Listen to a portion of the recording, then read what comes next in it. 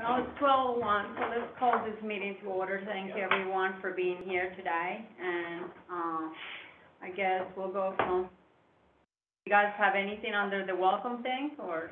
just welcome. Okay. On this rainy day, you know, just, uh, you know. I'm glad you guys are here. Yeah, and if we had guests, maybe they'd get up to. you know. Okay, awesome. Then we move on to farmer's market update. We're excited to have you here. Thank you. So, um, market, we're still accepting applications until April first. Um, so as usual, we have vendors waiting till the last minute, so, um, but we still, are getting, they're trickling in, but, um, expecting to have same amount, if not more vendors than last year. A couple new farms, which we're excited about, because that's been something that's been a little bit harder to be able to get folks to come out. So hopefully to be able to have more produce available to the community, so, um, and that's gonna open up, first Thursday will be Thursday, May nineteenth, will be the first day of the market. What is it again? Thursday, May nineteenth. The hours are the same, from three to seven? Same hours, yep, three to seven. So regarding market, that's pretty much the only update we have right And I'm now. sure, yeah, more the, the events for opening day will start to Yep. come together. Yeah, potentially next meeting, we'll have some more details about what we'll be doing that first few weeks to draw people in, so. Well, And this is kind of the time of the year where central business starts to get those updates, and so, on and I'm really glad to hear that. So can I, since we're under the farmer's market update, I have, uh, a kind of comment to say about this. I think it was fabulous how the farmer's market did so well last year. You guys did a fantastic job, and it, it definitely showed. Um, the, one of the reasons even, uh, it was even mentioned recently in council, one of the main reasons why even the farmer's market started was because to bring people downtown Christiansburg, and obviously we moved it, moved it to the rec center because of Hickok Street having to be shut down for different reasons, and plus, it was really not doing what it was supposed to be intended to do. And I have been thinking a lot about this farms thing, because, the farmer's market, because, don't get me wrong, I like it. Like, I enjoy, you have seen me there with my mm-hmm. children. But one of the things that is really, and maybe since you were part of the farmer's market before, I like the fact that you're here, by the way, as far as even that, having that insight, but one of the things that has really kind of, uh, shifted my thinking about even the farmer's market within the last several years is that one of the things that we have done the farmer's market as well is kind of like copying what other places are doing around us, and they have been successful at it, but there is real reasons why those have become successful, you know, dates and, you know, a lot of the things is that you may have more farms around it within your community, there is less, you know, uh, there is more walkable spaces, uh, than Christiansburg has. Uh, for example, in Blacksburg, you got the Virginia Tech, it's right next to you. So you have thousands of kids walking through your sidewalk every day. So as far as the accessibility is there, you know, Salem is a huge, it's actually a pretty large city. They have a lot of facilities, you know, a way for people to come to the downtown and walk and have that great experience. We're trying to compete with something that doesn't really exist. That, that's just, it's like bottling something that is even making people upset in the community. Why? Because if you have a barbecue car, you're gonna be upsetting the barbecue person that has a real estate place in the town. If you have a pizzeria that comes and sells pizza at the farmer's market, then you're competing with everybody else that has a pizzeria in the town. You know, it's not that I'm against having food trucks. I, I do think they're great, and I think they bring people, and it brings a different experience, you know? Seeing it from a business owner standpoint, and seeing it from a perspective of what are we trying to do here? Not that I wanna cancel the farmer's market, but maybe we need to shift into something, and this is just an idea. This is just me coming out with this idea, maybe let's open our minds to think, what about if instead of being a farmer's market, we have a activity market?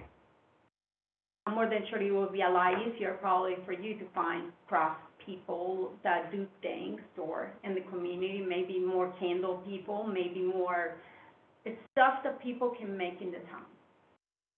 And it, we don't really have to outsource that. And maybe we'll become the central location for something different, you know, that nobody else around us has. And all I'm asking is for you guys to even help me come out with ideas out of the box. Because right now, I feel like even when Showalter made a comment to us, and he's truthful about this. I mean, I don't disagree with him when he's telling us the downtown is dead. I don't agree it's dead. I agree that, that I think that downtown has shifted into a different kind of market. It's not your walkable market. It's a place where people have office spaces. And so, how do we work with them? I do like the activities in town that you guys provide, the rec center does a great job. We have, you know, the rock and roll thing, we have the Kiwanis thing, we have the Christmas market, we have the Christmas and whatever, all these activities are great. Let's do more of those maybe. Um, but, um, let's not recreate the wheel here, let's try to think outside the box, and that's just me. What do you guys think? I think those are all really good thoughts, because it is something that, you know, we we kick around, you know, the idea of, okay, what is, what is, you know, what is the purpose of downtown? You know, the, the market really is supposed to be that, a- an economic development, community economic development generator, uh, you know, because you want to support other businesses downtown, and, Mhm. uh, and, and what is the role of events? Events can have a role, but at the same time, the downtown is not an event center, it is a place of business, you know, and of, of activity and cultural significance. Uh, and we want people to be visiting for those reasons, for tourism reasons, for business reasons, uh, as well, and it's, it's not simply, the, the events are important, but we also have to recognize how that inconveniences everybody else that's trying to do, you know, their, their, their business on a day-to-day, you know, um, in in the day-to-day situation. So I think, yeah, those are, I think that that's kind of all, you know, what we've been grappling with, like with the, um, with the placemaking plan and, uh, and, and just really, uh, our urban development area plans, you know, uh, all these plans really try, try to capture, how do we, we guess that? And I mean, uh, and how do we capture that? And, um, and, and we, you know, I think it was three or four years ago with the placemaking plan, and even before that, uh, you, the question was, what is downtown? What is Christiansburg known for? What, is- you know, so you're still trying to define. And I, and I think we, you know, we can get there, and that's, that's partly what the Rally Grant was about, well, you know?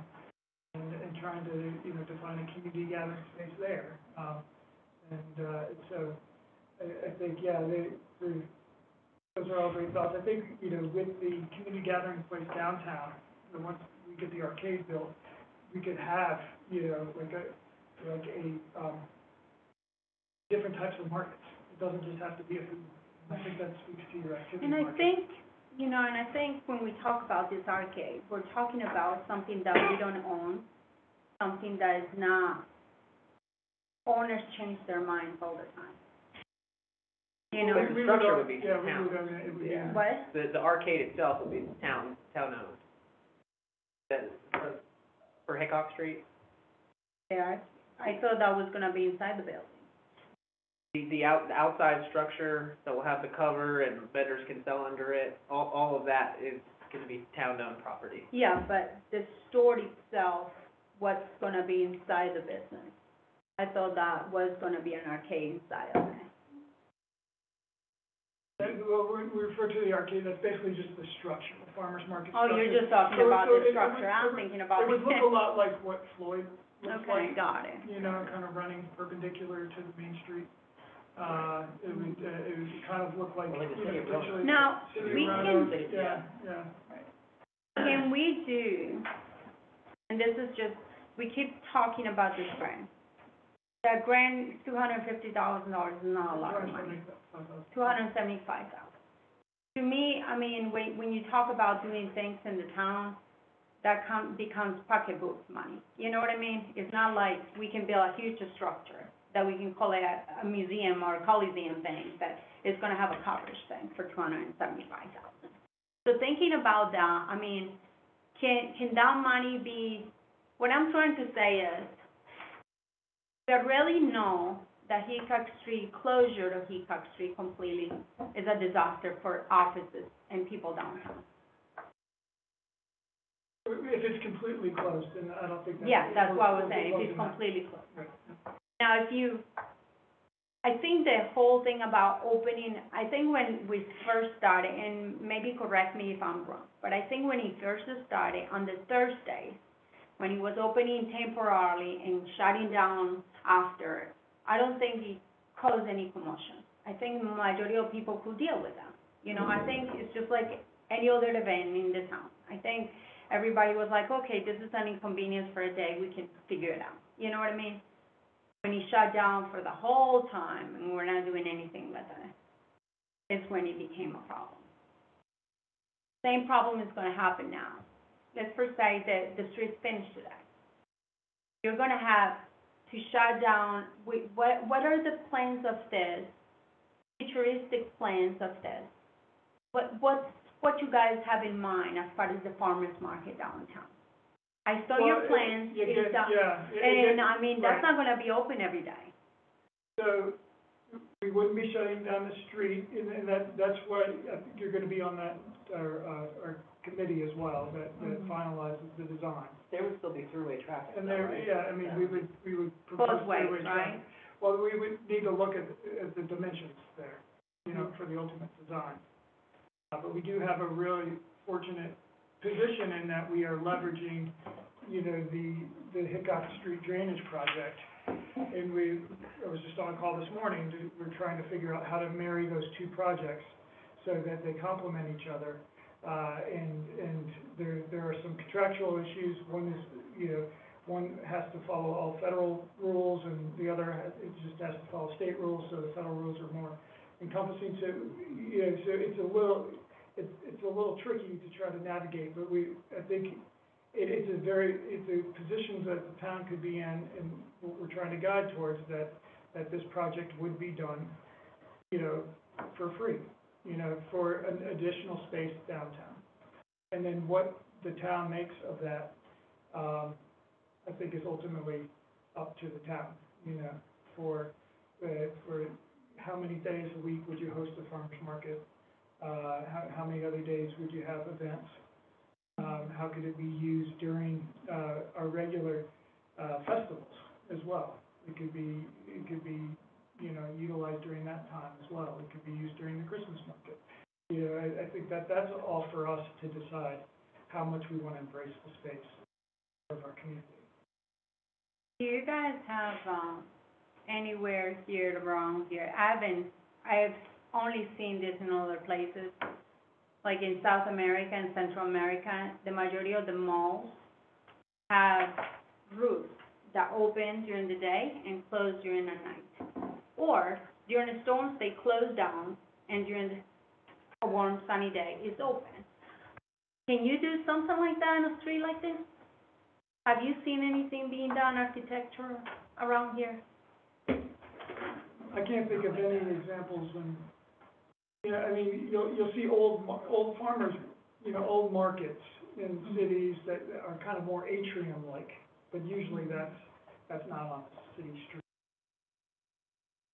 That- That's actually built. So we're kind of getting ahead to the community gathering place. Yeah.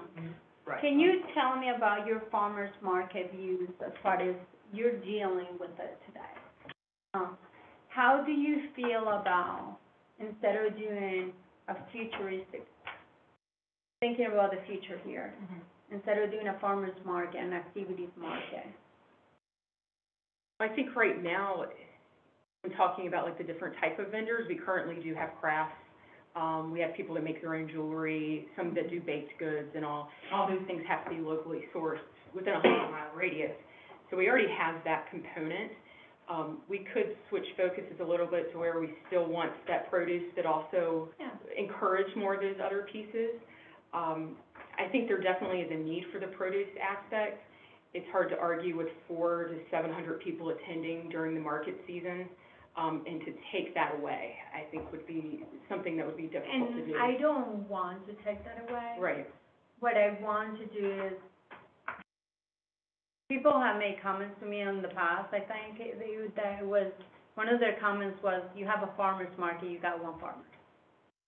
You know, obviously, that's not what, I, I saw more than one farmer a lot of the times, but even Sam Bishop said a couple of times, like, we need more farmers. Yeah. We need more farmers. Right, we do have reports, like, I mean, even th- three years ago, where we have a week-by-week breakdown of, of all the produce Yeah, vendors that were there, you know, and so, so it's just, I mean, I think it's a matter of pushing back on that, you know, that we have, that's not true, you know, we have more than one producer, we're trying to get more producers, I think twenty twenty was difficult.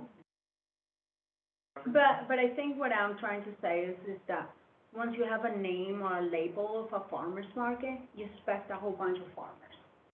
You know what I mean? Well, When you the- go to Blacksburg, there's like a whole bunch of farmers selling from eggs to, I mean, everything that you can think of, you mm-hmm. know? And so, and then you come to Christiansburg it's like a whole bunch of candles and stuff, you know what I mean? Like, it's not that I'm marking it down, it's that I want to make, so I hope you understand this. I'm trying to make your job even easier. Just Trying to kind of like, how can we have all these people in under the same roof, mm-hmm. but, but then give a good image to the town and say, hey, we're not just a farmer's market, we are everything in between. Rachel, what's, what's the mission statement of the farmer's market? Does it have one? I don't know that it has one. Yeah, we can bring up, I mean, we could look, uh, bring it back to you, I mean, I I don't know if we. I'm, I'm not sure if we ever Yeah, had one, Right, really. yeah, 'cause I mean, we had a farmer's market committee for a while. Right. Uh, and, uh, and then that, they would meet about once a month, uh, in the evening. And, um, eh, but, uh, you know, it is tricky to engage, you know, to engage producers and vendors, you know, because they're busy, you know, at the farm, you know. So, so you definitely want that buy-in, but it takes, it takes time, uh, you know, to, to build these, these types of things. Uh, and, uh, and, and I know, you mentioned Blacksburg, I know that, that has taken a long time to build the way that it is today. And, and we're probably at a point that is well equivalent or even maybe, you know, exceeds where they were, you know, at the point when, when we were there. I mean, it was, it was basically just the side of the street, and you had to be in the street to, to buy anything for long. It may be, it may be helpful with the farmer's market being moved once and will be relocated again, um, at some point with, with the structure and coming back to Hickok Street. It may just be helpful for the community to have more definition on what the farmer's market's goal and aim is, right? Is, is it here for the farmers or is it here for downtown? Right, and, and, and, you know, parsing that out, I think is gonna be very helpful to actually work with a mission statement and then kind of have a body of work thereafter. And we, I'm not sure if you were here during the local foods, local places, uh, session where we actually, we had, uh, you know, people come in and we, we started to define what the farmer's market was. Okay, that might have been before me then. Yeah, I can get that out to you all, that, that may be good Because, and it, look at. because I know, uh, when I, when I was working with it, I know that many of the farmers really wanted to keep arts and crafty stuff to a minimum, uh, because, because it was a farmer's market, not an arts and crafts fair. And so, in fact, when we used to have a farmer's market liaison, I remember Luke Brew used to do that way Mhm. back when, and, and he had said, he's like, you can have them, but you, you, like, keep it less than ten percent of your, of your overall market. And that was, that was the wish of the farmers at that point. So I think, I think we just need to see exactly what the goal of the farmer's market is. Who is it serving and why? Is, is it first for nutritional food and access? Is that the first priority? Is it, is it to revitalize downtown? Yeah. right? I mean, it, it, it wants to do all these things, but I think, I think we need to just parse out what that looks like. And that, as we see these changes come down the road with the farmer's market, because we don't anticipate it staying at the rec center forever, what does that look like? And, and I think that having, having that spelled out, and, and maybe there's language to that effect already that we just need to look at, Yeah, you know, that, that will, I think, inform the direction, a- and, and kind of looking at how we get community buy-in with what the farmer's market is, can be, should be, et cetera. I know as a department, we've talked about, you know, from our standpoint, we really want to focus, and I believe personally in this too, of the accessibility of fresh produce to people. Mhm. And by ways of that, it's also supporting the farmers, which is a Right. great benefit of that, but being able to have people that can Right. come up there, they can ride the bus up there, they can walk there, whatever it may be, and have access to fresh produce when they normally wouldn't. Right, Or they would pay more at a grocery store for produce that's not as fresh. right. And so that's something I know that we really, you know, believe in. Now, where that falls in the list, Right. you know, for council and, and for the town as a whole, I'm not sure, but I know that is a point that, um, we do believe firmly Are you in. guys still being able to give out the, the credits to people that have? Yep, uh, we got the grant So if again. they pay ten dollars, they get twenty dollars of, Yeah, we match up to forty dollars. So we which did I get that mean, grant for this you know, year. And I'm just telling you from what I heard from people in the past where they were talking about you, you know, there weren't even conversations where they were saying, well, you competed with Waze, that's why the Waze went out of business, you know? And so, and I'm not saying that that was the reason, because I'm sure it wasn't, but I'm just saying, when we do all these things, I do agree with what you're saying. Having a statement that it really, really tells the people what we're doing and what our goals are and clarifying what that is, it really, really can send a good message.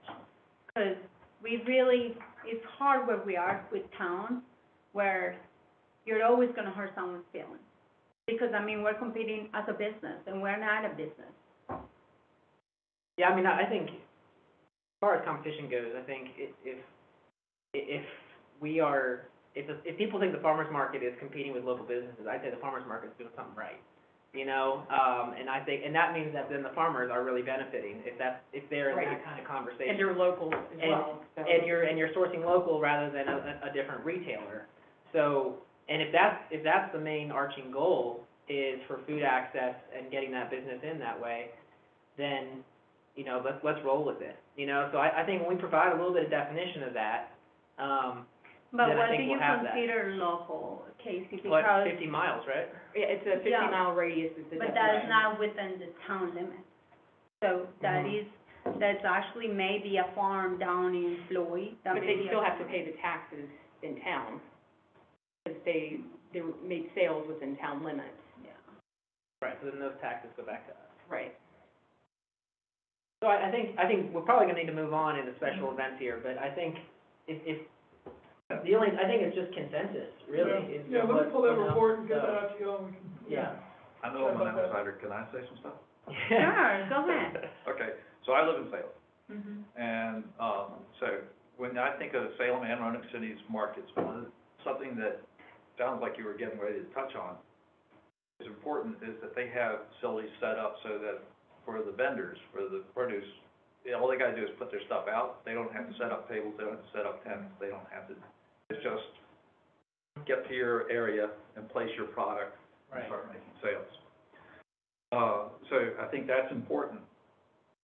Second thing is that uh, if I'm, and I'm not a farmer, but if I'm a farmer and I wanted to sell something, what's important is that there's people there to buy. Mhm.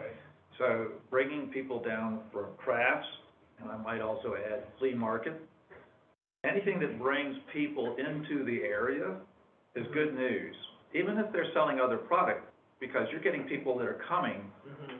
that otherwise wouldn't have, Mhm. and they might stop by and buy some produce. Right. So anything you can do to increase traffic is good. Next, Salem and Salem in particular has First Fridays, where they have an event at the same place where the farmer's market is. So that people are used to coming down to that area and having live music, uh, and other festivities.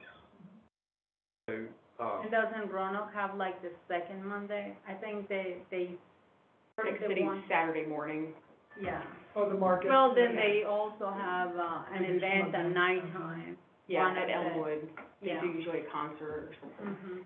And the next thing is Salem and Roanoke are on Saturdays. Was there a reason why we don't do it on Saturdays? Well, we really started as a Thursday market because it was more of a smaller niche market, you know, that we're trying to meet a day that, that wasn't, you know, met here in the area. And when they, when they asked folks, you know, Thursday was the best, because we were also trying to hit folks up for, you know, the same folks, you know, the same vendors.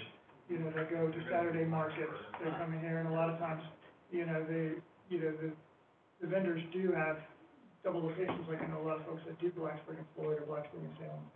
You know, and so I, I think, I think that should be a goal for the market, absolutely, Is, to do a Saturday market. okay, You because know, it makes it Absolutely, more Yeah. convenient for people that are working. yeah, yeah. I think we would yeah. really struggle with vendors, though, to be Yeah. honest. And- Well, I, um, I think the I know, the but I think, yeah, but I think it is a matter of building reputation, and, you know, if they have to hire a third person, and I think the reason why we didn't do it on Friday was because they're preparing for market on Saturday. You know, so the Thursdays seemed to work within the work week for, for them. We didn't do it on Saturdays because we would never be able to compete with Blacksburg's farmers market. Vendors had to choose between Blacksburg and Christiansburg, and that's only be, I mean, that's just because Blacksburg has been established much longer. I mean, we're talking, what, a couple decades, I think. But I think, Yeah, I but think when the it right started, farmers it would, wasn't would, even yeah. supposed to be that huge of a market. It was supposed to be like, oh, let's just try this out, whatever, and then it grew with, and they had a mission at the end. You know, it wasn't until too long ago when they really put it together and say, hey, we really wanna do this, this is needed. So, uh, I do like what you said. I do like about the flea market. Does anyone have a flea market in the area? Well, I mean, we, we would have to, we, I think we need to discuss that, you know, if, if that's something that you wanna pursue, because it, it, it does become a, a, a- a different type of So, event. You you need, let me- you let me- you need buy-in from the vendors Yeah. at that point. I, and, and, and maybe this is, because I think your point's well taken, that you get more attractions than one and bring it all to the same place. Yeah. You know, I just know that oftentimes farmers said, don't, don't bring in the arts and crafts here, we don't, you know, and so you need, you need the farmer's market buy-in if you wanna still call it a farmer's market. And I think from a use, we probably have to have a zoning code change as well, to allow for flea markets in downtown. So, it's- here's a strategy that you may wanna look at, and that is, uh, have, start off with a flea market on Saturday. Yes. And expand it to crafts. When there's a lot of traffic, open it up to produce. If that gains any traction. So that way you're not competing with the other Yeah. markets. Use a different concept on those things. I really like that. It doesn't have to be flea market, it can be anything else. but, I mean, a lot of getting the market to work successfully is utilizing the space efficiently. So if you're having food or vendors or whatever there, like, you know, saying, maybe if you can't do it on that day, do something different. And there's also parking available on Saturday that's not available on Thursday, right? Exactly. And you're not competing with the, you're not working around these office spaces. That is quite annoying, to tell you the truth. When you had the farmer's market downtown, it was quite out of place, because you're so used to doing, I work close by, and everybody, we all go to walk, and walk to Macaroons or drive to Macaroons.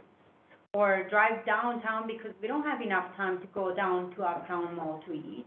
You know, so all these office spaces down, downtown, we all work until about five or six. The time I pick up my kids, my kids don't get home until almost five, you know? By the time they get out, they go to activities, they go to running, my children are, they don't get home until about seven. Mm-hmm. At that point, the farmer's market is closed down. I, I mean, I really had to make sacrifices for me to come to the Thursday. I And had to that's make just me. sacrifices. I had to cut- take off from here to go down there, it was terrible. Yeah, I know, I- and so, I, I, I mean, I, thi- I think it's a fantastic idea, I think, I think it's worth looking into, I mean, working in Parks and Rec at one point, I can say, if you're gonna do that, give them more resources, Yeah. resources to do it, because they're already stretched thin as it is, and you ask them to then do Thursdays and Saturdays, Right. it's, in, in, in a busy season, I'm just saying, if you're gonna do it, make sure you give them the resources to do it. So what you're saying is having it two days a week? Well, off, Right. I, I- I Strategy think the there. larger conversation is, you know, is, is how do we accomplish, you know, uh, what, yeah, what, what is, what are the goals of the farmer's market, you know, and, Mm-hmm. uh, and then how, how do we accomplish, you know, the, uh, how, how do we grow it to a point where, how do we where, grow it? where, where it really is a community asset? And, and I think it does need to probably be on a Saturday, if it, Yeah. if, if we want it, if we wanna truly, you know, realize the vision that I, Yeah. But I believe we So we share. have to make Because, I mean, it's not like the downtown is dead, because all the office spaces downtown are pretty, they're filled up. Right. I mean, we have very successful people downtown. You got engineers, you got architects, you got doctors, you got therapists, you got everybody in between, so. Mm-hmm. And like I said to you, and you guys were talking even about that, you'll have the parking available, Yeah, which is a big issue. That's, so that's just less farmer's market and more placemaking uh, to, to that space Absolutely, and how, yeah. how, how people sort of envision that space, which a farmer's market operates in just on, but just on other days. And I think that is a fantastic thing to look into, um, and how that, the space itself then becomes the focal point. And it doesn't matter what day of the week it is, it's, oh, well, that's the place where they do X, Y, Z, right? Or even jelly Time competitions and. Yeah, you know. yeah. You don't, you can look at stuff that's out of the season. Yeah. that's you right, know? I mean, maybe Yeah. it's all produce right. yeah. during Mhm. season, you Yeah. got the rest of the year, but. And it's the small things that, that were done when Hickok Street was closed, is like, did a Friday lunch, you know, where we set up some picnic tables and stuff, and it, it was small, but it's really popular for a lot of the office workers around there, so, Yeah. you know, trying to, trying to engage the office workers on, on weekdays is a strategy, yeah, I mean, and, that- and that really, is well put, that it all goes back to that placemaking. You know, and something else that you were talking about, the farmer's market. What about, normally farmer's market on Saturday, they happen really early in the morning. Maybe there is a way we can talk to those farmers, and maybe our farmer's market doesn't have to start at nine o'clock, ten o'clock. Christiansburg like to sleep in on Saturday, we like to sleep in. So if we can, so on Saturday, there's a lot going on on Saturday mornings. Most people are doing soccer practices on Saturday mornings if they're not off. My children, all of them are gone on Saturday morning. So the farmer's market technically in the morning wouldn't necessarily work for us in the spring and the summer, even the fall.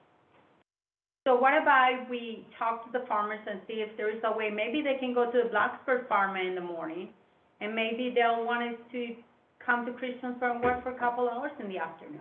Maybe our farmer's market's from twelve to two, or maybe it's from one to three. I mean, I think there's, yeah, just a lot to look into with it. Yeah, Um, and, and I think we, we do have time, you know, because we're, we're gonna, this year, we're sticking with the Thursday, Yeah, you know, uh, plan, but I mean, I do think for future years, it, it, it goes to, yeah, how, how do we make it a unique place that, that meets the needs of our citizens? Know, and so, you know, and again, you know, talking to vendors is gonna be critical, you know, because they're, they're gonna be the reason why people come to it. mhm. And, um, and, and those Saturdays are long days for them, you know, and so to extend it, maybe, you know, maybe appealing to some and, and not for. But others. even the one farmer had a problem with it. I mean, he's like, you know what, today I have to take off, I cannot work on the farm because I, I'm being here, you know? I mean, Thursday is the farmer's working day, you know? I mean, on the field, not on, I think every day is a working day for a farmer. well, I know, I mean, I have farms too, but I'm just saying on Saturday is more of a, we can sell the product. I mean, that's what happened even in uh, our own country. Everybody sold their products on Saturday and the rest of the night they were drunk until then Monday morning, so. Yeah, So, one other thing is, but the idea is if you bring the, if you've got the customers coming, farmers will come as well, because Mhm. they're chasing the dollars. right. Yeah. That's Uh, true. So, That's chicken and egg, right? yeah, you know, a little bit chicken and egg. Yeah. You get So- paid on Friday night, So, go back to events, ten K, five K, bring people downtown to run the races and after, and while they're wait, while they're watching dad or mom run or yeah, little kid run, then they can also be Mhm. buying stuff. yeah. Yeah. I mean, I think a lot of this is not anything necessarily new or novel, I think it's, it's all been talked about, it's, quite frankly, I think a lot of it is bandwidth, um, and, um, and, and how do we, I mean, sort of goes back to that larger picture of, of, of placemaking, I mean, what, what, you know, and that's kind of why I wanted to use what Regional Commission did as a roadmap as well, as we kind of run through things, so, I think it's just making sure it's top of the mind, and as we can, put, put a good foot forward on it, so. And maybe what is to say, we, we only do it once a month to study now. And we say, we're gonna do just like you say on the one first Monday, we'll do the first Saturday of the month. And we do an activity event, thing slash farmer's market, whatever you wanna call it today, crafts, whatever you wanna call it on the Saturday, and see what we get. Cause I really think that every event downtown, no matter what it is, besides the farmer's market, on the weekends or whenever it has been done, it's very successful. Anything that you do downtown, any of the events are well attended. People do show up for that. And speaking of Saturdays, there's a lot, can we, can we roll into events? Yeah, no, Just absolutely. because I know, I'm looking at that clock, Yeah, yeah, So- that would be good. yeah. So, um, I'll go down our list of upcoming events. Um, we've got our first spring event is Saturday, April second. It's our spring kickoff festival that'll be held in that parking lot of the recreation center. So we've got, um, a theme for it, Dancing for the Decades, so we'll have a DJ, um, it's playing like seventies, eighties, nineties music. Um, Blue Ridge Axe Throwing is gonna come and bring their portable setup, so they'll be there. Um, so people are able to do that for free. We've got food trucks that are gonna be there, cornhole tournament that our intern's gonna be doing. Um, Iron Tree and Iron Heart will be there, as well as Bull and Bones will be there. Um, Kiwanis is the nonprofit we're working with, um, for this round. So, on social media, it's gotten a pretty good following so far. Um, so we're, fingers crossed for weather, as Casey knows, weather is everything. Um, as long as we have good weather, I think we're gonna have a pretty good turnout, especially for a first time doing this event. So, um, we're excited to have it, you know, in a really good spot. I think we go downtown a lot, and this location is centralized a little bit more, and so add a little bit of variety and, and something different that we haven't done before. So we're hoping for good attendance and good weather more than anything. So we'll have it that evening from five to eight. Quick question, on there's, there's no issues of having alcohol on a town property? No, there is not. We spoke to Randy about that in our special events committee. I think it can't be within a building, I believe is what it was, that grounds was Okay. Yeah. So, Um, and then April sixteenth is our Great Easter Egg Hunt, same as we've done prior to COVID, I guess. It will be at the Kiwanis Fields, working with Kiwanis again, they're gonna get, um, bikes for the kids. So we'll have eight bikes that they're gonna be giving away to kids, and then we've got, of course, prizes and stuff. So we'll have that event at Kiwanis Fields from ten AM until about eleven thirty roughly, depending on how many kids we have, um, that day. So we're expecting quite a few people, because it's been, the events, we had it last year, but it was a drive-through. So we handed out bags and stuff for people, and the year prior to that, we couldn't have it all. So I think people are gonna be excited to get back out there and, and have fun with their family in that event. If the weather is, uh, are you planning to do that inside the rec center? Yep, we'll go into the gym. They've had, from my understanding, they've had to do that a couple of times Yeah. before, and the kids don't care. No, they- As much as they still get to have fun and get prizes and They candy and stuff, but, um, we'll make that call the day before so that we can post it and everybody knows, but worst case scenario, we have to go one in the time- rec One center. time it was, it- I think the weather was fine the day of, it just had rained three days straight Yeah. beforehand. Yeah, so it was just gonna be too muddy. Yeah, so we'll look at it that week, but hopefully we'll be fine, but if we have to, we'll move into the rec center, so. And then, um, I know council heard last night from you, um, NRV Cares about the street closure on April twenty-first, so I just wanted to bring that up, that they'll have their event there, I'm assuming it was approved. Yeah, Fine, it To have that, And that setup will be our existing bollards that we already have in the ground, and they'll just set up there and then at Commerce Street. Are you guys having trucks to block both sides or not at all from public works? At, at this point now, I mean, it, it would just be the bollards. the bollards, yeah, because they're steel, um, and we could if we wanted to, but I don't know that it's necessary for that, because it's the I makeup think of it's gonna have a quite amount of people. Is, are they gonna have police? They should have a. Yes.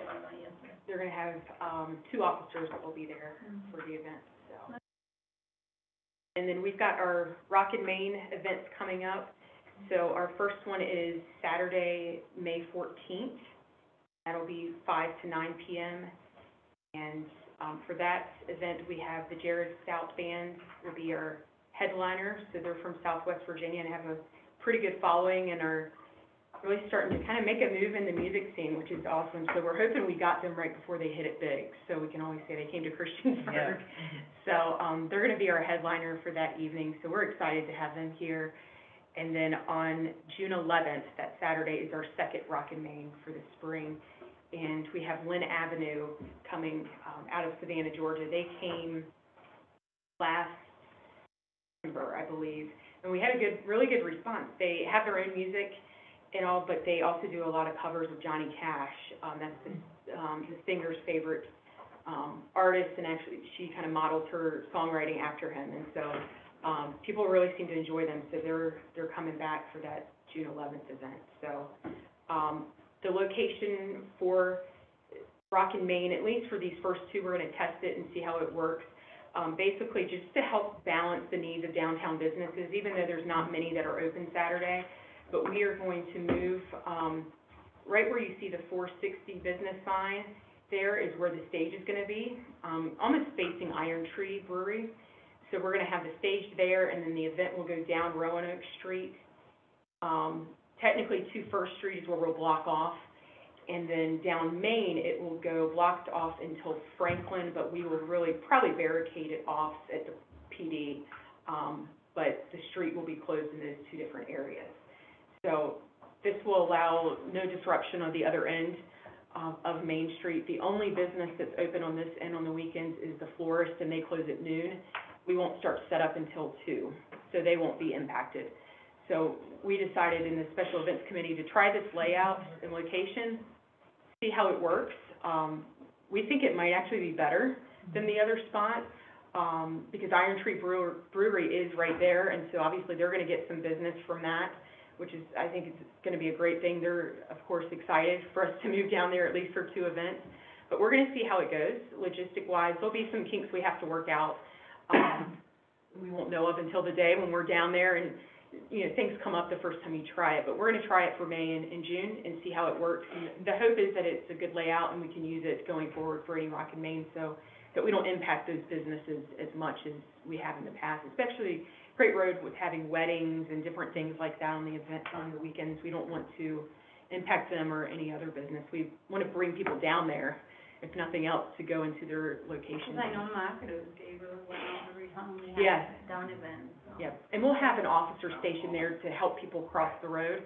So people are still gonna park down there behind McAdoo's and stuff, so I don't think that's gonna cause them to lose any business really from that. If nothing else, staff, we always walk to McAdoo's and get, you know, dinner or lunch while we're down there working, so, um, I think it's gonna be a good layout. We've talked about it a lot in our special events committee, so, um, just wanted you all to be able to see it and, and see what our plan was, so. Like that new concept. Sounds awesome. Can we get a, uh, just a list of all the spring events?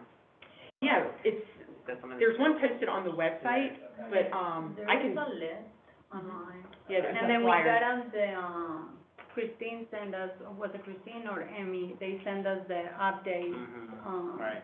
the, um, that letter that we get, what is it, the monthly letter?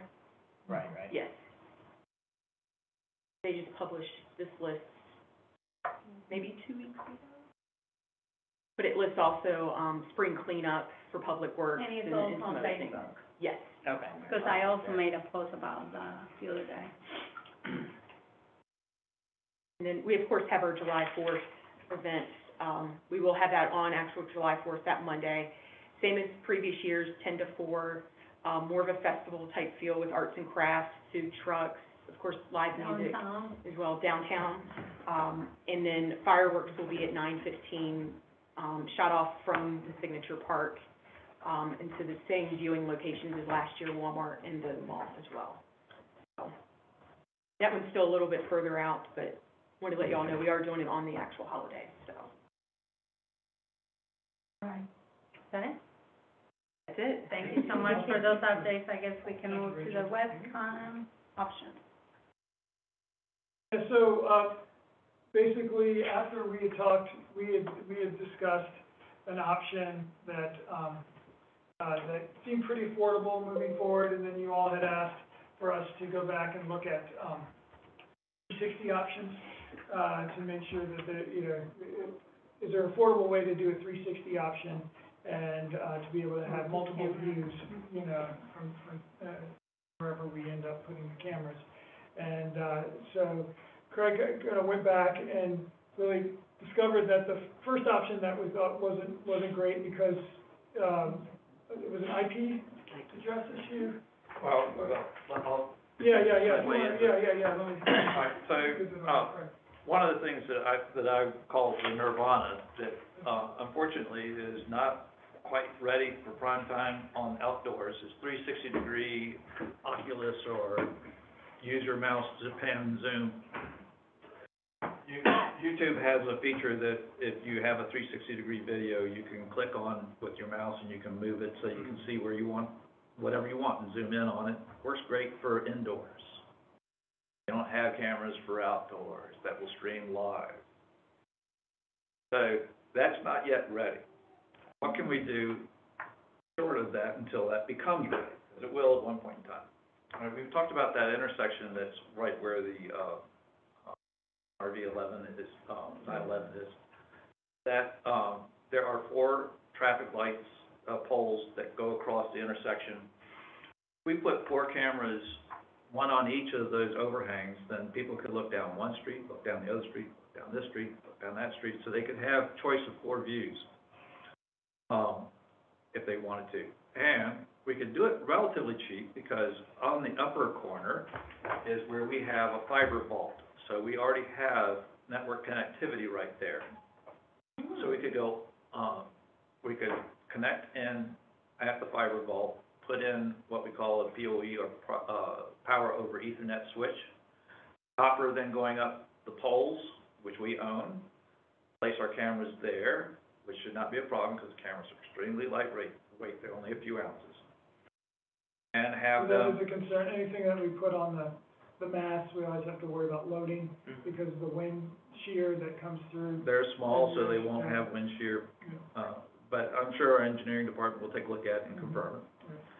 So we could have four cameras right there, and we could put it on a website, very similar to what, um, five eleven, if you're familiar with it. Five eleven VDOT has all those cameras on the road, so that you can choose which camera you want. All right, so start small, small is this. Put it here. Now, expanding this, and here's some things, oh, well, we'll finish on this. There's a type of camera that's called an ONVIF camera, which, what that means is that if we plug it in, and have an IP address, we can, that's about all we need to put it on a website. No client, so nobody needs to click on any kind of client, load down a client into their browser, they just can click and display it. Again, almost exactly what you're seeing on, on VDOT's five eleven. Click on any of those live streams and see what's going on at that time. They won't be able to control the camera, they can't can't pan or zoom or tilt or any of that, they can just look. Now, at the same time we're doing this, Billy Hanks is installing some new software that will enable him, if we have it, map cameras to where he's dispatching his vehicles. So he could see, if there's an accident he's going to, he could see, just like we do on five eleven, what's on that intersection at that time. Could start growing this, so that these cameras go out everywhere. At first, we wouldn't do any recording, be live stream. But the next phase, after you grow this, is now to throw a recorder on there, so the police can use it to see if an event occurred, like we had an accident right intersection in front of here, we happened to be able to capture it. But we just, we were lucky that the accident occurred right there, because it solved all of who did what. Um, but we could have cameras that go all over the place and be recorded, uh, to support the police, fire, as well as community development. So really, yeah, yeah, I think, you know, and Craig and I talked about this, it really still is a tourism project for downtown, with the ability to expand for more public service mm-hmm. capability in the future. That sounds awesome. What's the cost on this for the board? Each camera is about eight hundred bucks, Okay. and if what I think is true is true, because I've tested, I was hoping to have a test site for you today. We've tested one of our cameras, and I can bring it up in a browser. Unfortunately, this one camera that we tested, the, the browser interface that it has, it allows you to control the camera, we don't want that. Um, so we're looking for something simpler. But, um, there's, if, if what I think is possible, then you're basically looking at eight hundred dollars for a camera. Then the installation, which is probably done by Public Works, just using band clamps, sticking onto the poles. Plus, uh, getting the cabling up there, cables are like ten cents a foot. Um, and we would run it off of our own internet, which we're already paying for. Can we, um, I like the recording thing or whatever too. I know that you said that, what will the cost be if we wanted to record it? Or you need a different camera to be able to that? These cameras will be, can be recorded, they just have to go into a solution like we have for the town. Mhm. The town has a solution called Exact Vision. And so that camera is being recorded. Mhm. We have several other cameras around other buildings. Um, those are all recorded, we keep them for thirty days and then we discard them. Cause I mean, for this one, we can at least keep it for twenty-four hours. I'm just asking to see, I'm not asking for a month, but, you know, let's just say there was a rob, somebody robbed something. We can at least have the footage within that first twenty-four hours, you know? Um, I mean, obviously, this camera, like we're talking about, it's- it was designated, we want it for tourism, and obviously, there's so many things that can help with. Um, is that a cheaper way or an easy way that we can at least have the ability to at least record twenty-four hours timeframe? So, uh, the Or cost. can we have a computer set up where all he does is like, he looks at that and he just records as he goes for the, for the twenty-four hours, I, I don't know.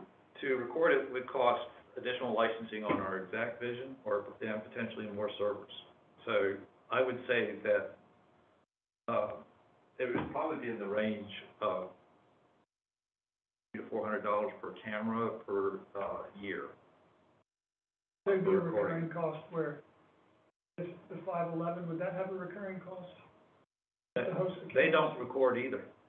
But did, did that, even the host, would that Uh, be? No, so, but that brings up one point about the hosting. We would host it.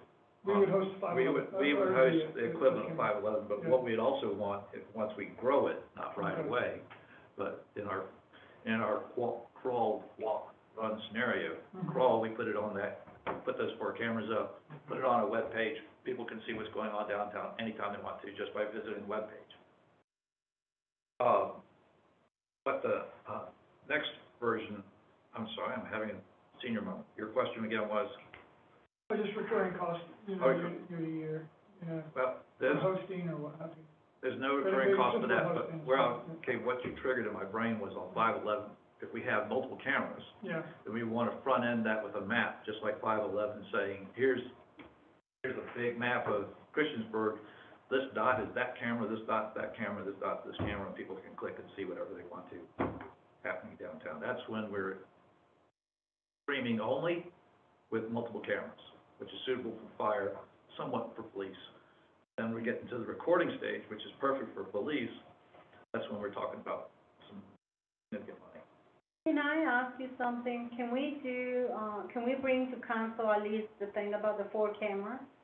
And then ask them and give them the option as well for the second thing, which will be the recording option?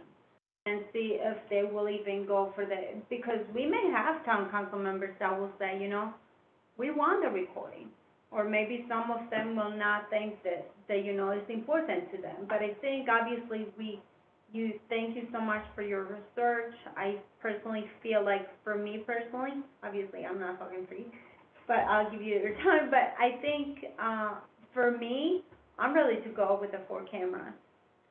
Now, what about you? Yeah, I, I'm, I would, I guess if they come through the website, online foot tra- online traffic, would you, would we know how many users there are looking, you know, could we say, oh, on this day, we had hundred people that looked at the cam, you know, that used the camera? Would we have that data available to us? I'd have to talk to Civic HR, who actually hosts our website, Okay, to see what kind of metrics they have. They Right. should, because a lot of, as you know, a lot of websites do that. right, Even, they'll have little counters at the bottom of saying, yeah, been that's viewed nice. so many times. hmm So I know it's possible, okay, I don't know if there's a cost, and I don't know what Civic HR's capabilities are. Right. Uh, so keep in mind, uh, one thing that I didn't tell you guys last night is what we don't do. We don't do web development in my IT group. We don't have any developers. We're, that's the one thing in IT that we don't do. But that is my background. I am a web developer from, I did Roanoke County's website, the first one they had. Did my last, uh, employer's website, so I know how to do websites. I don't wanna be a website developer. Right. Well, and that was one of the concerns uh, originally in, uh, because we didn't have that expertise on staff, you know, was, was the, the security concern about hosting, you know, the own cameras, but, We've gone through that with Eric, there's, we can lock it down, so we figured out how to lock it down, so that basically what we're exposing out over the internet, do what's called network address translation, so when somebody sees this, this camera, that it's, this, a certain IP address is exposed publicly, but the actual address of the camera is hidden, nobody can see it, it's behind the firewall, so that no one can actually directly access it except for what we're, we're sending out. So it, it's secure. Um, I think, I think we can probably, um, so I, I wanna pursue this to, to get a, a, an ONVIF camera that's simpler, that doesn't have the control features so that we can plug it in and test it. I pretty much wanna do that on, on the Skunk Works. so, so, so you, you saying before ordering four cameras, you would wanna get one camera? Proof of concept, you know, just proof of concept? prove it, make sure it works, put one up, and if it, and if it's Right. what I think it is, and you, it's what you think, Right. Was the my committee vision is not your supportive vision. of that? Yeah, if, Also- if you have the confidence in it, Yeah. Then, then I have the confidence to back it. So if it starts with one, just to see how it works first, then I, I think that's how we roll first. Since it's eight hundred dollars, do we still need to get town council's approval on this? Well, I think it would be good to, you know, to, um, before, if Randy goes ahead and, and, uh, you know, and Craig and Randy, you know, order the cameras, because it will probably be coming out of our tourism, uh, dollars, is what we, Randy and I discussed before. Mhm. And so it would probably be about forty-five hundred to five thousand dollars once you calculate installation and such, so, um, I mean, it would be up to the committee, but I, I would, I would think that just getting the general head nodding from council would be a good thing to move forward. Or, uh, I'll confirm with Randy, he, he may want, you know, just a quick council vote on it. Well, so, here, let But me, it would- it let would me come tell to you. you guys from, for, as a So if recommendation. we don't need town council's approval, Mhm, I'm okay with moving on today. yeah. If we, if Randy feels that we need to bring it to town council, obviously, I'm okay with that too.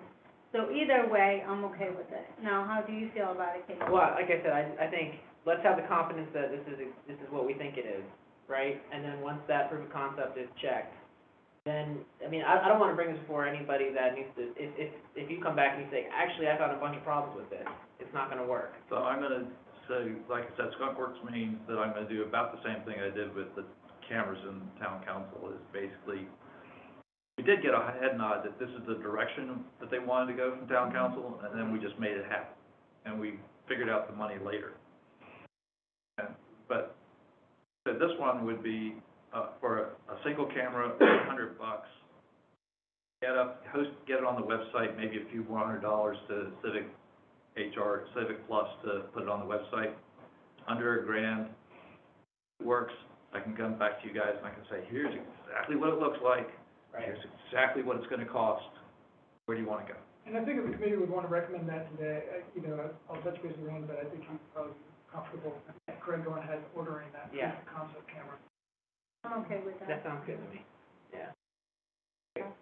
Thank you for the research. Uh, that was exactly what I wanted, Yeah, it's very it good. on, Mhm. think? Yeah. And then, community gathering place.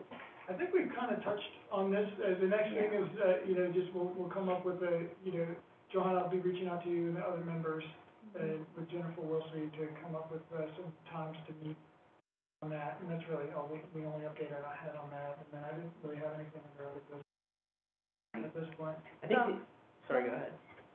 I had, um, so obviously I talked to you in central business, I had a conversation where I felt like, um, I really, really, uh, I would really like to see an event, uh, when I spoke to Terry from, uh, the aquatic center, um, a need for having mural walls for graffiti or anything like that, art in the skate park. And that came about, I was obviously, I went to the arts com, I, I talked to you guys during the arts committee, which thank you so much for Yeah. allowing me the opportunity. Um, you know, I really like the fact that, you know, the arts committee, you know, it was, it sounded like it was well received as well. Um, now trying to figure out the details of that, I feel like it also kind of follows into what central business does.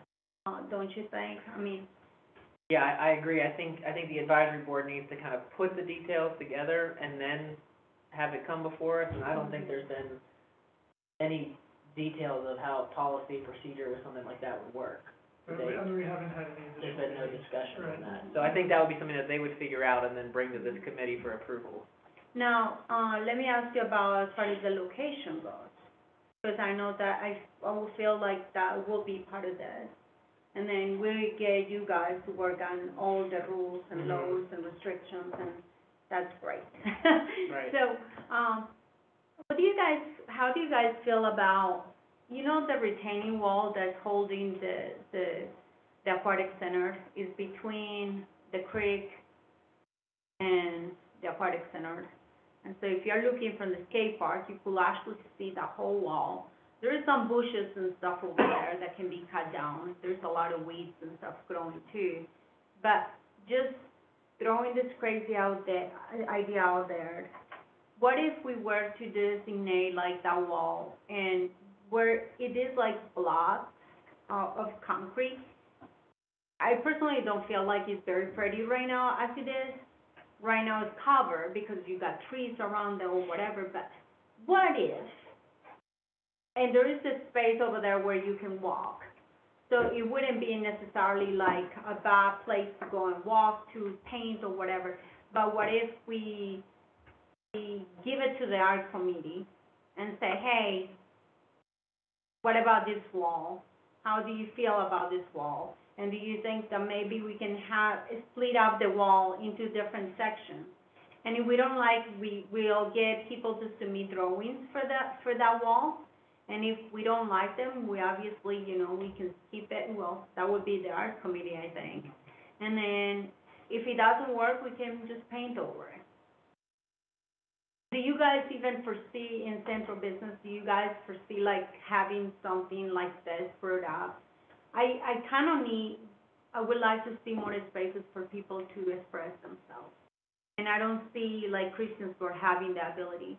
Um, Well, we have the one, we have the call for artists out right now, and, um, I don't know where we are on, on how many So, submissions so we've that had. closes on April sixth. We, we've gotten a lot of interest, social media Okay. wise. We haven't received any Okay. submissions at this point. That might be a good first test, a litmus test of how this stuff, how, how this actually works before we move on to other spaces. And we use that as a, the first domino to the fall, see how that goes, and then other locations, uh, can be mined, basically. Because that one, what I was thinking about is not gonna be perfect. You know what I mean? Like the one in Cambria, I'm expecting something, which by the way, I, I figured that it should be actually more than one mural because it's such a large wall. But I'm just saying, just the fact that it's one, I foresee that the, and I'm not gonna be a part of that group that, you know, agrees to that or whatever, but I just foresee something that's well done. You know what I mean? The one over here at the aquatic center, I'm not expecting for, I'm expecting for young children to even submit this application. You know what I mean? I want a ten-year-old kid that comes down and says, hey, I do wanna paint something, you know? Mhm. I don't, I am not expecting the, you know, the twenty, thirty, forty-year-old artist that's gonna come over here and make a beautiful mural. Mhm. Uh, those beautiful murals, we got money for that and they can be spent in other places in the town. But what I'm looking at, Casey, is not something that's, So you would anticipate Not that, perfect. it, it wouldn't be necessarily if, if a fifteen-year-old skateboarder is at the park, he wants he brings his big cans and then goes over to the No, wall. it wouldn't be that, it would be something where, I would like to advertise it there, you know what I mean? To me, a drawing, and that drawing can be put up on your wall, and we can supply the, the materials, they can supply the materials. I don't think the materials will cost a lot of money, and I can say, you know, and I can personally myself, I will take charge of helping them. Not paint it if that's what they choose to, but I can help them manage it. Like, for example, if they need help with something, I can be there. I don't have a problem with that, you know? Um, do you foresee that, that maybe that's something, an idea that can be, Yeah, so we can take a look at the wall to see, you know, how much space are we dealing with? Are, are we offering folks a five by five? yeah, Area, obviously, yeah, I wanted smallest spaces. Yeah, So yeah. probably, you know, like four feet Mhm. maybe, or even five feet. Uh, and, and, you know, because I do see being, that being a large space. And like I said to you, if it's not pretty at all, it doesn't really matter because it's not really visible, but it is visible. So unless you go down there and you're at the skate park, you're not really gonna see it. You're not gonna be able to see it from when you come to see the aquatic center. Do you particularly want it at the skate park, or would you consider like a traffic control problem? So here is my idea. I think that if we have something that's well planned on that wall and it goes well, then we can move it to the skate park. Because what I'm really nervous about is this for kids to come and use that paint and start painting the skate park. Mm-hmm. Yeah. Because, you know, you're gonna bring those pa- those can paints from there and then you're gonna start painting. And you, c- and because it's a skate park, you cannot paint the concrete Right. Yeah, because then it's a hazard for us and it's Yeah. for, for them falling and not paying, you know? Right, right. And so that, that becomes a liability. Craig, I'm sure knows the pig on West Main Street in Salem. Oh, yeah. Oh, yeah. The- the- There's a concrete pig, right, like a statue. And Mhm. it originally used to be a barbecue place, and they closed, and it got moved down, but somebody somewhere along the line, one of the others, had the idea that it would bring people in if they held, you know, competitions to paint the pig. So the pig is still there, probably I have seen fifteen years later, and, you Not know, much paint on it. people, yeah, right, like, I mean, it, it looks horrible. It's it right there in the middle, yeah. It's, well, you can see it on Google Maps, I mean, we Mhm. probably could look at, but what happens is, you know, the, it's like you're supposed to paint the pig, so, you know, this time it's got, you know, this football team or that, whatever, and sometimes you just paint two or three times a day. But people paint other stuff too, and so the whole parking lot got graffiti, and on the curb and the sidewalk and the traffic signal, and so, so you, you, I think you're correct to be concerned that it may spill over from there. Yeah. You just wanna control And it. we want PD to be comfortable with it because it Yeah. is, it is starting to deface property and someone could get, you know, in trouble for that, you know? And we'd hate to promote that. Because I mean. Well, some and then there is communities- also the idea of it starting out with one wall, and it can be just like what we have the informational boards that we have through the town, you know, on the Huckleberry Trail or whatever. And we, maybe what we'll do is we'll start with chalk. We say, if you use chalk, I mean, even if they paint the, the, the bathroom, it's not a big deal. We can wash it off, you know? If they paint on the concrete where they're skating on, it's not a big deal. It can be washed off. And I think, you know, and I'm, I don't have, I'm not against them even throwing all kinds of stuff on the ground on the skate park with chalk. I mean, it washes off. And if that's gonna take someone's energy out, throwing all day to try to make, come up with something cool, I, I don't have a problem with that. I want to see that. I want to encourage kids to do that, you know? Charlottesville has a wall like that Yeah, we, downtown. wall. that, that got brought up in the mall area, right? And then, Andrew, you brought up a graffiti park in North Carolina, right? Right, Yeah. yeah, I, uh, That was a really good one. I actually looked it up online. That was Yeah, when it's cool. done right, it's really cool. When it's done wrong, it looks like that pig. We should look at the pig. Salisbury, that's it, yeah. And maybe we'll start with some boards down on the, on the trail thing, on the one side where the Kroger's trash pit, pig thing is from their parking lot.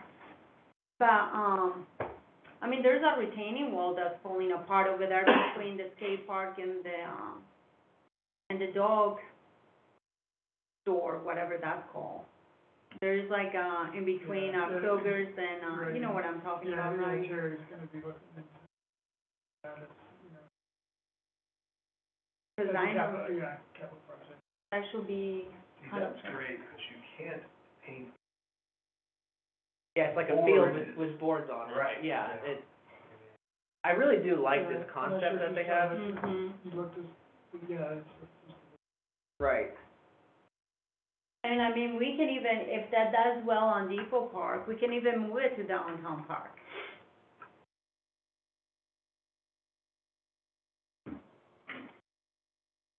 Yeah, I did think this was very cool.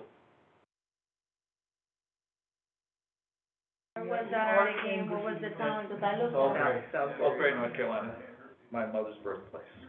Ah, oh, that's awesome.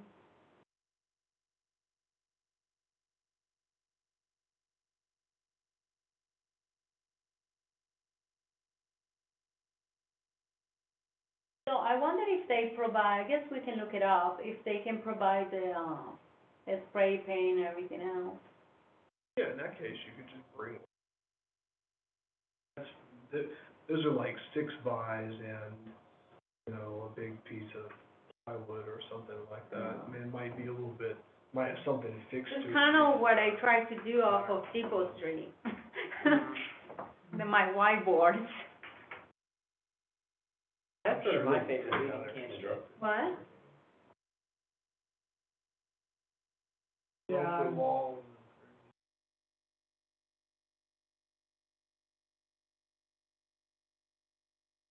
That would be something that like in Depot Park. Pretty Yeah. cool. even the area between the two parks. Mm. I Randy would like to see some. I really like a this storyboard idea. walk. Yeah, right, that's what I You was know? thinking. And this is very inexpensive to do too. I mean, very inexpensive. And I tell you what, that park is so much usage, Depot Park became like the place go. And this, this was sponsored by their downtown, Right, their, their their DCI, DCI. which is now a city department, like. Um, yeah, I think, I think that is worth looking into. I think that, that concept is a really good idea. I think it was left that we Mhm. bring some That's right. additional information to the next meeting. Yeah. Totally. Yeah. Mhm. They can do that. Yeah, I like it. Thank you, guys. Boy Scouts and asking if they got an Eagle Scout that wants Right. to do something. They've, uh, we, we did that with downtown park, right? The You know Scouts are what, you can even- Scout Yeah, you can have You can even do church competitions and everything else, Mhm. company competitions. Right, Uh, I'd be really cool, yeah. really cool. Hey, uh, I know this is probably under Parks and Rec. I was talking to Brad the other day, and he actually did said that he will be interested to really see the bathroom downtown park too. That it would be really good to have that. I'm not sure if you know what, it wasn't me, it wasn't. It wasn't mine either. Mine. Buzz. Oh. And so I was like, man, he I can didn't hear it. anything. Um, even forgot my thoughts, but anyhow. It's okay. But no, um, yeah, I think that's it. Yeah, anything else? That's it. Anything Thank you, else? guys. Great. And I guess this meeting is adjourned. Thank you. Thank you.